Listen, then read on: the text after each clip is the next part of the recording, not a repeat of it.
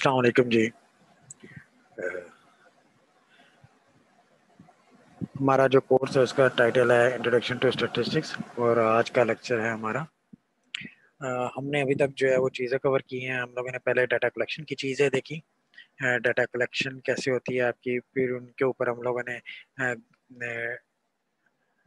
उसको डाटा को प्रेजेंटेशन करने के तरीके सीखे जिसमें हम लोगों ने क्लासिफिकेशन देखी टेबुलेशन देखी फ्रिक्वेंसी डिस्ट्रीब्यूशन देखी सीखी, उसके बाद फिर हम लोगों ने कुछ ग्राफिकल रिप्रेजेंटेशन देखी जिसमें हम लोगों ने क्वालिटेटिव डाटा होगा तो उसको हम लोग किन ग्राफ से रिप्रेजेंट करेंगे, जिनमें हम लोगों ने दो बेसिक पढ़े जिनमें बार चार्ट था और पाई चार्ट था, जिनमें बार चार्ट में सब डिवीज़न जो था वो सिंपल बार चार्ट था मल्टीपल बार चार्ट था कंपोनेंट बार चार्ट था और जब हम लोगों ने क्वांटिटेटिव डाटा था तो उस हवाले से हम लोगों ने तीन ग्राफ्स पढ़े।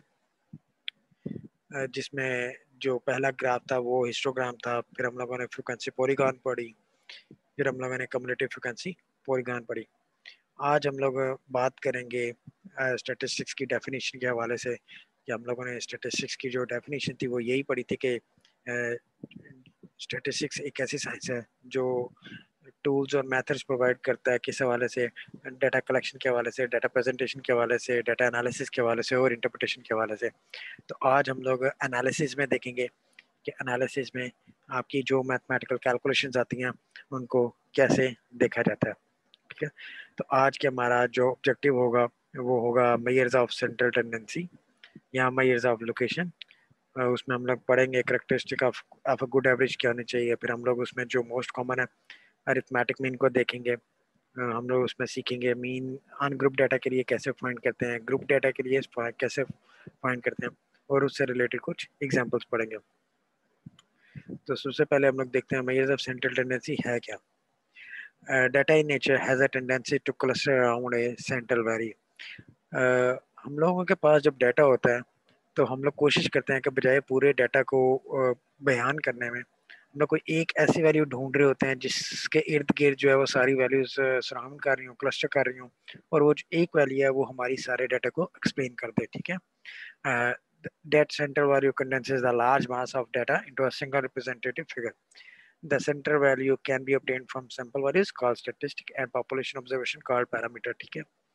तो आप जब सैंपल की बेस के ऊपर चीज़ें ड्रॉ करते हो कैलकुलेशन करते हो तो उसको आप स्टेटिस्टिक कहते हो। जब आप पॉपुलेशन की बेस के ऊपर कैलकुलेशन करते हो तो उनको आप पैरामीटर कहते हो। तो जो भी सेंटर वैल्यू हो सकती है वो स्टेटिस्टिक की भी हो सकती है और पैरामीटर की भी हो सकती है। डेफिनेशन जो है average is an attempt to find a single figure to describe a group of figures ठीक है? Uh, ये जो सेइंग है ये क्लार्क एक स्टेटिशन है उनकी है कि एवरेज आप कोशिश करते हो एक ऐसी फिगर को या ऐसी वैल्यू को फाइंड करने में जो कि सारे ग्रुप ऑफ़ फिगर्स या ग्रुप ऑफ़ वैल्यूज़ को डिस्क्राइब कर दे ठीक है? और आपके ऑब्जेक्टिव जो हैं वो आप मेजर्स ऑफ़ सेंटेंडेंसी को जो आपके पढ़ने का ऑब्जेक्टिव होता है वो होता क्या है? There are two main objectives.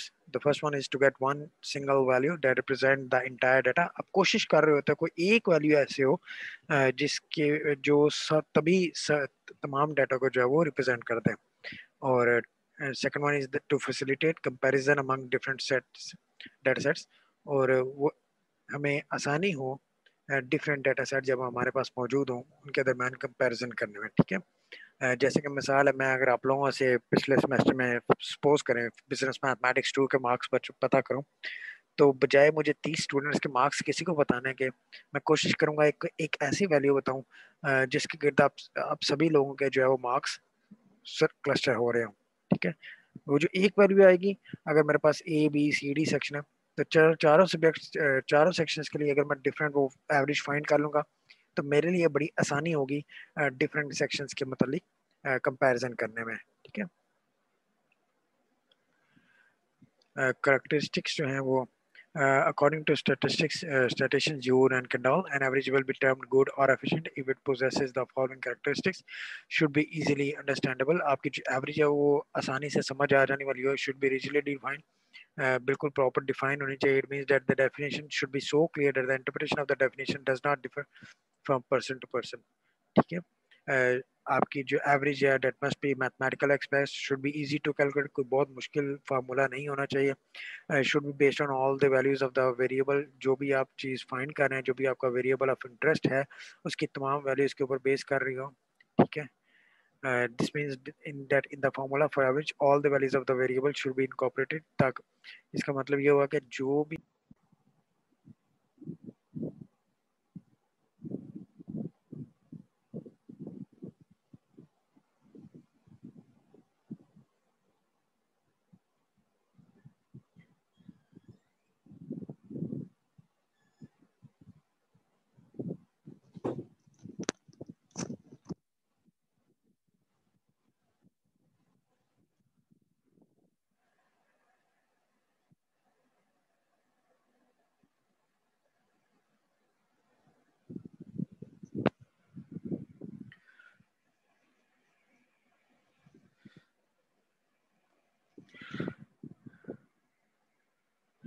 and the value of average should not change significantly along, along with the change in sample okay uh, should be suitable for further mathematical treatment uh, आगे further mathematical treatment के हवाले से होना चाहिए आपका formula और आपकी जो एवरेज है वो एक्सट्रीम वैल्यू से बहुत ज़्यादा इफ़ेक्ट नहीं होनी चाहिए ठीक है आपके पास, हमारे पास डिफरेंट मेयर्स हैं सेंटर टेंडेंसीज की।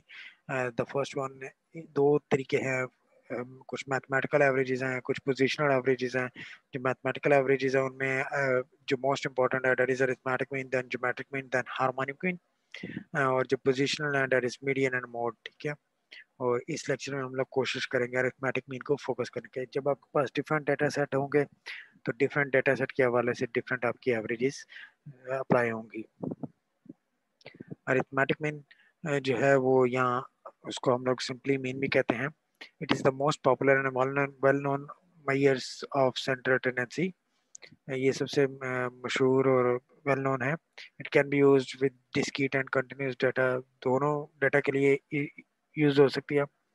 और इसमें देखिएगा क्या होगा the mean is equal to the sum of all values in the data divided by the total number of values in the data set ये इसकी डेफिनेशन है, इसको इस तरह कैलकुलेट करते हैं। एग्जांपल देखिएगा two five seven ten six ये हमारे पास पाँच नंबर्स हैं और हम लोगों ने इनका अरिथमेटिक मीन निकालना है। तो बाय डेफिनेशन देखेंगे हम क्या होगा that is sum of all values in the data set तो आप क्या करेंगे, इन वैल्यूज़ को, सभी को सम कर लेंगे that is two plus five plus seven plus ten plus six divided by the number of values तो इसमें देखिए आपके पास कितनी वैल्यूज़ हैं? टू है five one two three four five है। फाइव है आपके पास नंबर ऑफ़ ऑब्जर्वेशन है। तो थर्टी डिवाइडेड बाय फाइव आ जाएगा डेट इज़ सिक्स दो चीज़ें नोट करिएगा। यहाँ पे सैंपल जब आप सैंपल से कैलकुलेट करेंगे सैंपल मीन तो आप उसको स्मॉल एक्स बार से रिप्रेजेंट करेंगे। और जब आप पॉपुलेशन से मीन करेंगे तो उसको म्यू से रिप्रेजेंट करेंगे। ठीक है? तो जनरल फार्मूला आपका अनग्रुप डाटा का ये होगा। सैंपल uh, मीन जब आप सैंपल से ड्रॉ करेंगे तो एक्स बार से प्रेजेंट करेंगे। That is X one plus X two up to X N divided by N तो sum of all values divided by N तो याद रहेगा population mean mu is equal to summation X plus N that is summation X over N ठीक है यहाँ पे आपका N जो है वो कैपिटल आएगा। तो हम लोग देखते हैं। Marks obtained by five students ये आपके पास पाँच स्टूडेंट्स हैं।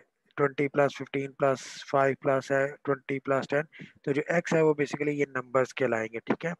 हमारे पास जो फार्मूला है X power is equal to summation X over N तो आप इन वैल्यूज़ को सभी को ऐड करोगे twenty plus fifteen plus five plus ten twenty plus ten that is seventy five divided by number of values इसमें जो वैल्यूज़ हैं वो पाँच है हमारे पास तो seventy divide seventy five divide by five करेंगे तो आपके पास जो एवरेज एवरेज मार्क्स आएँगे वो फिफ्टीन आ जाएँगे।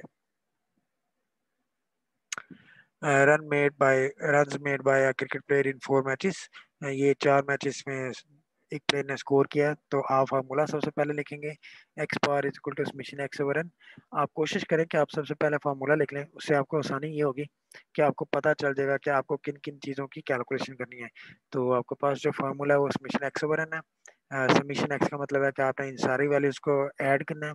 तो thirty plus seventy plus ten plus twenty divided by आपके पास नंबर ऑफ़ ऑब्जर्वेशन कितनी है? चार है। आपने किया तो one thirty divide by four आ गया, थर्टी टू पॉइंट फाइव आ गया। तो इसकी इंटरप्रिटेशन ये होगी कि 32.5 जो है वो एक क्रिकेट प्लेयर ने एवरेज स्कोर किया हर मैच में।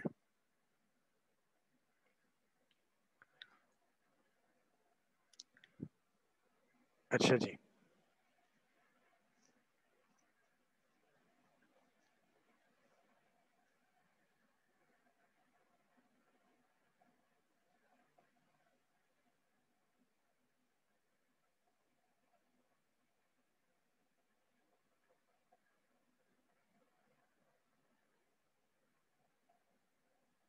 ये आपके बुक के हवाले से कुछ चीज़ें कंसल्ट करते हैं। ये देखें आपके पास सैंपल मीन है जिसका फॉर्मूला ये एक्स पास मिशन एक्स ओवर है? ठीक है ये हम लोग एंडरसन स्विनी स्टेटिस और बिज़नेस एंड इकोनॉमिक्स की बुक ही कंसल्ट कर रहे हैं, जिसमें सेक्शन है आपका 3.1 मेजर्स ऑफ़ लोकेशन ये actually measures of central tendency कहलाती हैं, ठीक है? और यहाँ पे देखें आपके पास। अब यहाँ पे देखें monthly salary starting salary for example of twenty twelve business school graduate तो ये बारह बिज़नेस ग्रेजुएट्स हैं, जिनकी मंथली सैलरीज ये हैं, पहली स्टार्टिंग सैलरी आपने इनका, यहाँ पे देखें उसने क्लियर मैं क्लियरली मेंशन किया हुआ है कि आपके पास डाटा जो है वो कौन सा है? वो सैंपल का डाटा है, ठीक है? तो आपके पास फॉर्मूला कौन सा आएगा? समीशन एक्स ओवर एन जिसमें X one plus X two आप टू आपके पास बयालीस कितनी है? ट्वेल्व तक हैं तो आप यहाँ तक जाएँगे। डिवाइडेड बाय ट्वेल्व आपके पास क्योंकि टोटल ट्वेल्व ग्रेजुएट्स हैं तो आप इन सारी सैलरीज को एडअप करेंगे that is forty two thousand four eighty divided by twelve करेंगे तो थ्री फाइव फोर ज़ीरो ये आपकी एवरेज मंथली स्टार्टिंग सैलरी है, ठीक है? इस तरह ये म्यू इज़ इक्वल टू मिशन एक्सवर और अगर आप एक्सरसाइज में आएँगे तो एक्सरसाइज में देखें, कुछ क्वेश्चंस मैं आपको करवाता हूँ।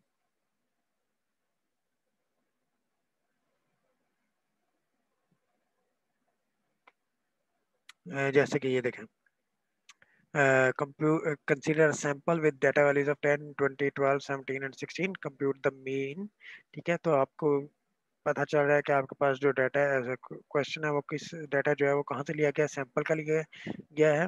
तो आप X power is equal to summation X over N करेंगे। एक्स समीशन एक्स में इन सारी वैल्यूज़ को आप ऐड करेंगे डिवाइड बाय फाइव करेंगे, क्योंकि आपके पास नंबर ऑफ़ ऑब्जर्वेशन कितनी है? फाइव है, ठीक है? तो आपके पास मीन निकल आएगा। इसी तरह आप ये देखें the Dow Jones travel index reported what business travellers pay for hotel room per night in major US cities the average to hotel room for 20 cities are as well ये 20 सिटीज़ के average hotel का rate लिया गया। आपको क्या करना है? What is the mean hotel rate तो आप क्या करेंगे? Summation X bar X bar is equal to summation X over N इन सारे वैल्यूज़ को आप ऐड करेंगे डिवाइड बाई ट्वेंटी करेंगे, जो आपके पास आंसर आएगा that is the mean hotel rate पर। ठीक है, ये आपके पास मेन होटल रेट आ जाएगा, ठीक है। इस तरह क्वेश्चन नंबर सिक्स में देखें क्वेश्चन नंबर सिक्स भी आपने करना है। Question number seven question number eight same है। क्वेश्चन नंबर नाइन सेम है। आप लोग इनको ट्राई करिएगा, ठीक है। अगर कोई कंफ्यूजन आए तो आप लोग मेरे से कंसल्ट कर लीजिएगा, ठीक है।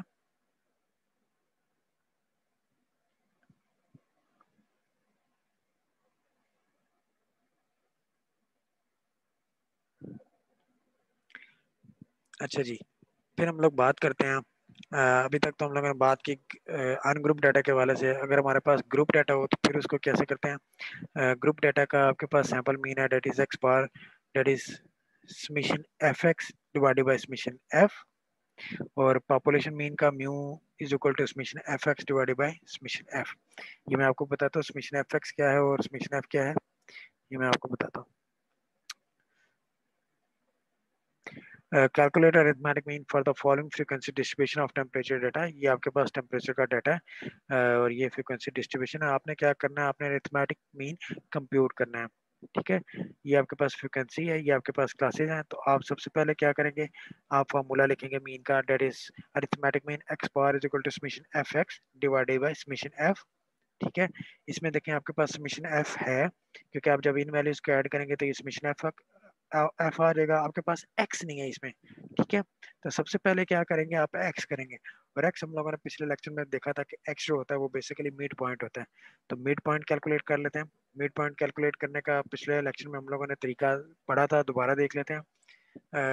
आप अपनी classes lower class limit plus upper class limit को का एवरेज लेंगे तो वो आपका मिड पॉइंट होगा। तो यहाँ पे देखें 11 plus twenty divide by two करेंगे तो ये 15.5 आ जाएगा। 21 प्लस थर्टी करेंगे डिवाइड बाई टू करेंगे तो वो 25.5 आ जाएगा। 31 प्लस 40 करेंगे डिवाइड बाई टू करेंगे तो वो आपके पास 35.5 आ जाएगा। 41 प्लस 50 डिवाइड बाई टू करेंगे तो वो 45.5 आ जाएगा। 51 प्लस 60 डिवाइड बाई टू करेंगे तो वो 55.5 आ जाएगा। और इस तरह आपके पास एक्स आ गया। लेकिन आपको तो एफ़ एक्स चाहिए तो आप क्या करेंगे? आपको एफ़ एक्स चाहिए तो आप क्या करेंगे? एफ़ को एक्स आपके पास एफ़ एफ़ का ये कॉलम है, आपके पास एक्स का ये कॉलम है तो आप क्या करेंगे? इन दोनों को आपस में मल्टीप्लाई कर देंगे। कैसे? आप थ्री को मल्टीप्लाई फिफ्टीन पॉइंट फाइव के साथ करेंगे तो वो फोर्टी सिक्स पॉइंट फाइव आ जाएगा। सिक्स को आप ट्वेंटी फाइव के साथ ट्वेंटी फाइव पॉइंट फाइव के साथ मल्टीप्लाई करेंगे तो वो वन फिफ्टी थ्री आ जाएगा। फाइव को आप ट्वेंटी फाइव पॉइंट फाइव के साथ मल्टीप्लाई करेंगे तो वो one seventy seven point five आ जाएगा। फोर को आप फोर्टी फाइव पॉइंट फाइव के साथ मल्टीप्लाई करेंगे तो वो वन एटी टू आ जाएगा। टू को आप फिफ्टी फाइव पॉइंट फाइव के साथ मल्टीप्लाई करेंगे तो वो वन हंड्रेड एंड इलेवन आ जाएगा। ठीक है? अब देखिए, आपको समीशन आपके पास एफ़ एक्स भी आ गया, आपके पास एफ़ भी आ गया तो आप क्या करेंगे? समीशन एफ़ जो है, वो इन सारी वैल्यूज़ को आप ऐड कर लेंगे। Forty six point five plus one fifty three plus one seventy seven point five plus one eighty two plus one eleven ये आपका समीशन एफ़ हो जाएगा। और एफ़ जो है समीशन एफ़ जो है, वो आपका three plus six plus five plus four plus two ये आपका समीशन एफ़ एक्स हो एफ़ हो जाएगा। तो ये देखिए समीशन एफ़ जो है, वो आपके पास ट्वेंटी आ गया। समीशन एफ़ एक्स जो है, वो आपके पास सिक्स सेवेंटी आ गया। अब आपके पास जो मीन का फॉर्मूला था X bar that is equal to summation F X over summation F तो आपके पास दोनों वैल्यूज़ आ चुकी हैं। तो आप क्या करेंगे? Six seventy divide by twenty करेंगे। तो आपके पास आंसर जो है वो आ जाएगा, ठीक है? Six seventy divide by twenty किया तो आपके पास क्या आ गया? एवरेज आ गई थ्री पॉइंट फाइव आ गई। ठीक है जी? तो आज अभी तक हम लोगों ने क्या किया? अभी तक हम लोगों ने देखा कि मीन जो था उसको अनग्रुप डेटा के हवाले से किया मीन जो था वो ग्रुप डेटा के हवाले से किया जिसमें हम लोगों ने मीन अनग्रुप में देखा, फिर बुक से भी कंसल्ट किया, फिर बुक के क्वेश्चंस भी देखे और कुछ जो क्वेश्चंस है वो आप लोगों ने अटेम्प्ट करने हैं, ठीक है? फिर हम लोगों ने मीन जो है वो ग्रुप डेटा के हवाले से भी देखा। ठीक है?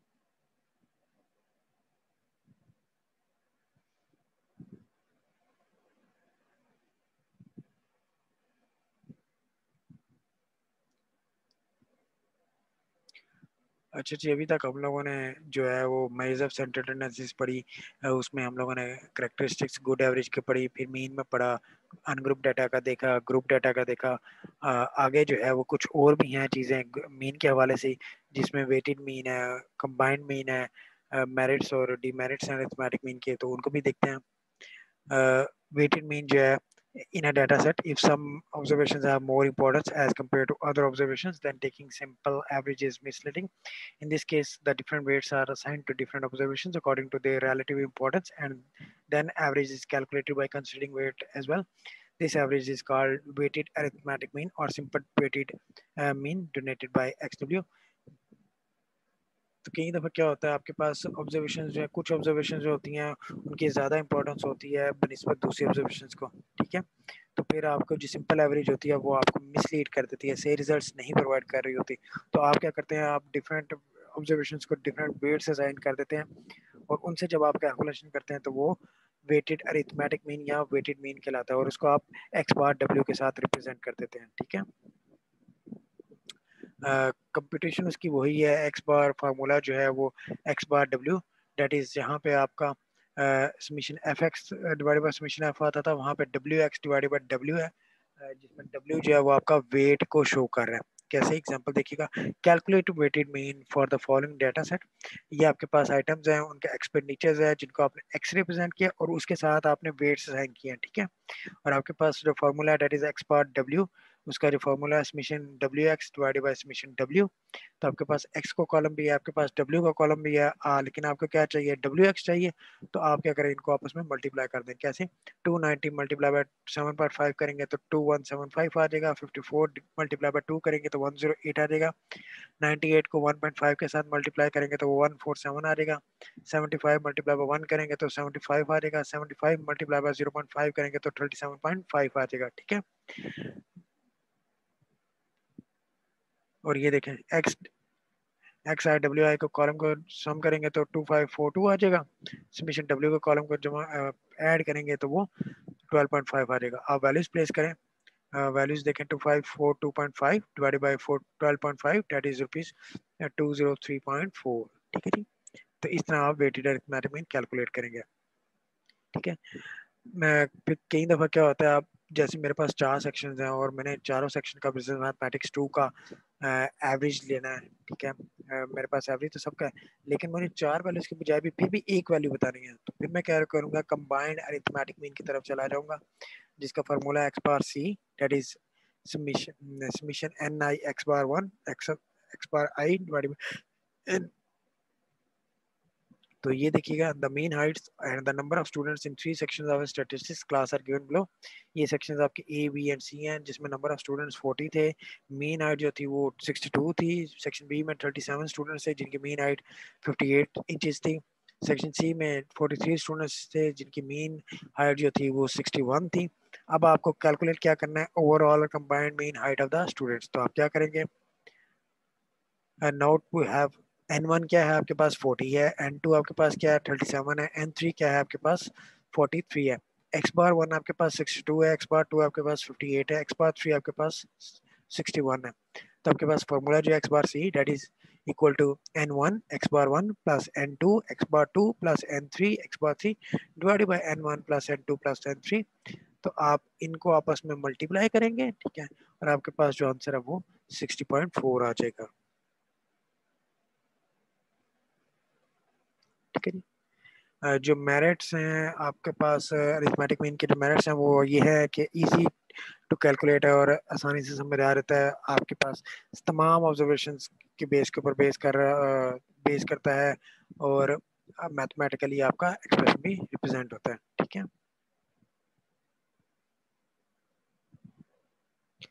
जो मीन का सबसे बड़ा इफ़ेक्ट है, वो ये है डीमेरिट है, वो ये है कि ये एक्सट्रीम वैल्यू से बहुत ज़्यादा इफ़ेक्ट होता है।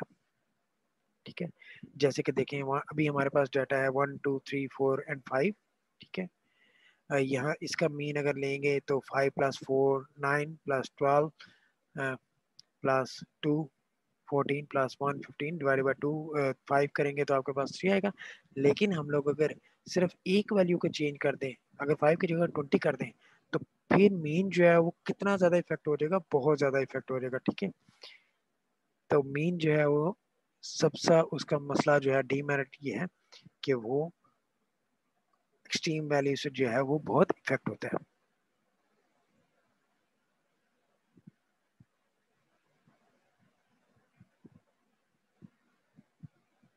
ठीक है जी?